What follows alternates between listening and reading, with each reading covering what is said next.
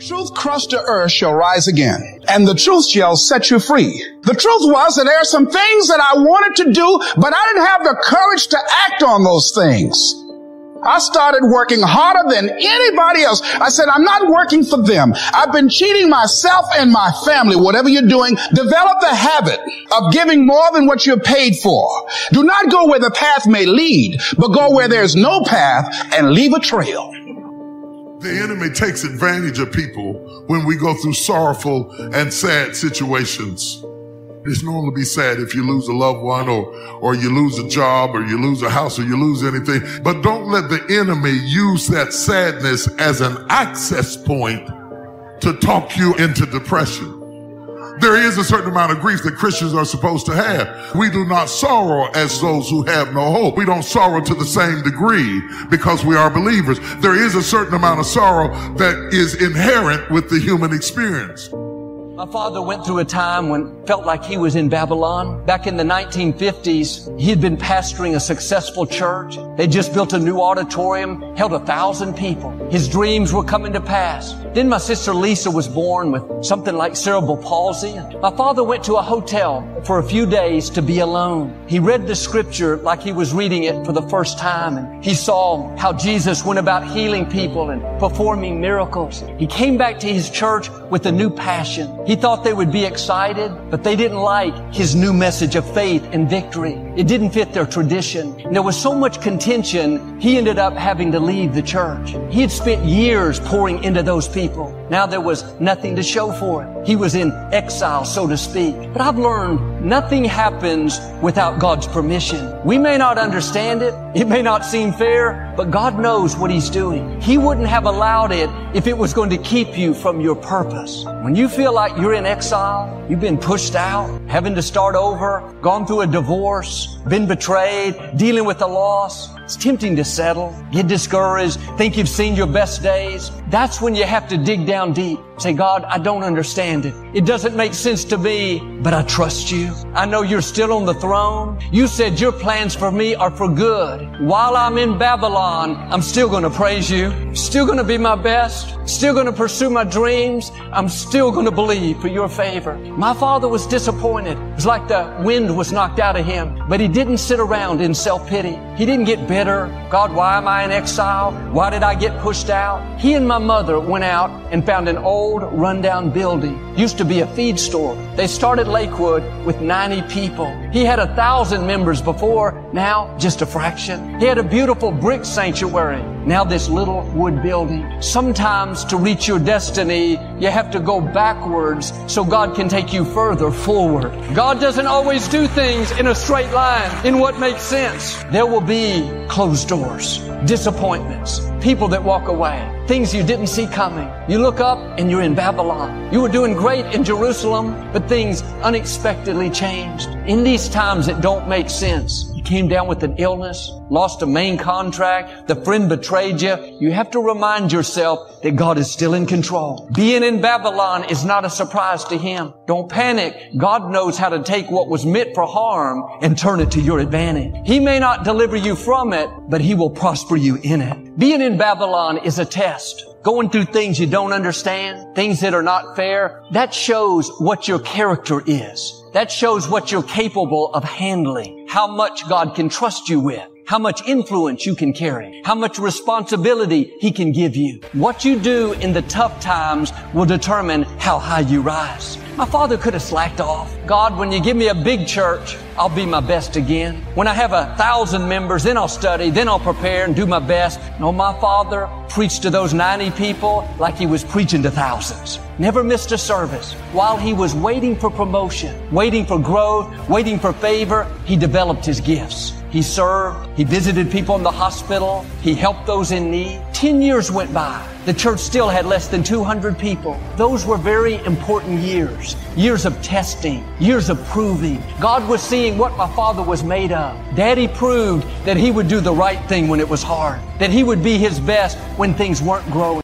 That he would build, dream, plant, even though he was in Babylon. 1972, it was like God opened up a faucet. People started coming to the church from all over the city. It grew to a thousand, then 2000, then 4, then 8. Here we are today. My father would have never reached his destiny without being pushed out of that church. What was inside of him was bigger than the denomination he was in. Don't fight the closed doors, the disappointments, the people that walk away. You don't know what God is up to. Sometimes He has to move you away from what you're comfortable with. You can't see it, but He knows something is limiting you. You may go through these seasons of testing, seasons of proving. It's easy to get discouraged, slack off, but you need to keep being your best. Nothing is changing. That's okay. Keep doing the right thing. God told the Israelites, you're going to be in Babylon for some years.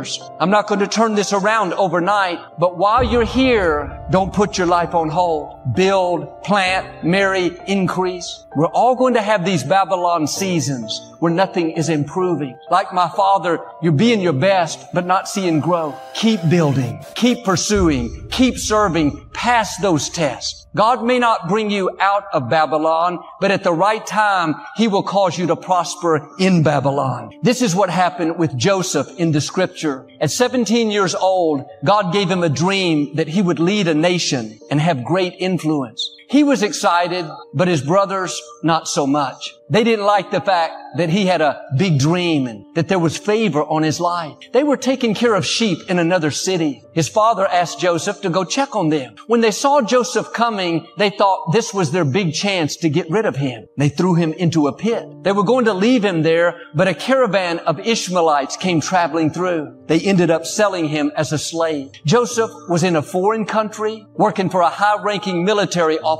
named Potiphar. Here a few weeks earlier, his future looked so bright. He was wearing the coat of many colors that his father had given him, his father's favorite child. But life has a way of taking twists and turns, things that we didn't see coming. Now Joseph found himself in Babylon, so to speak, in exile, in captivity, just like the people in Jeremiah's day. Joseph had every right to be bitter, discouraged. He didn't do anything wrong, but Joseph understood this principle that there are times we're going to find ourselves in exile. Instead of sitting around in self-pity, he kept being his best, using his gifts and talents. He served with such excellence that Potiphar noticed him. He stood out from among all the other staff. Potiphar put him in charge of his whole house. The scripture